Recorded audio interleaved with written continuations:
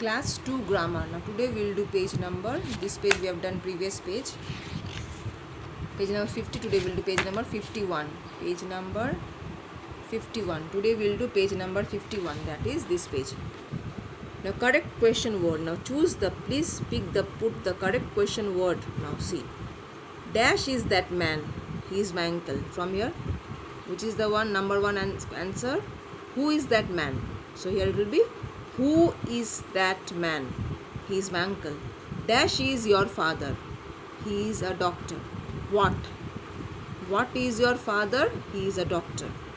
Dash are your books. Where are your books? W H E R E. Where are your books?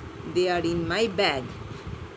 Find from the box the right answer for each question. These are the questions. Answers are here. These are the answers. 1, 2, 3, 4, 5. These are the questions now. Who is that boy? He is Manu, number one. Where is he going? He is going, number two. He is going to school. Where are his books? Number three. They are in the bag. What is his father? Number four. He is an artist. What is his father? He is an artist.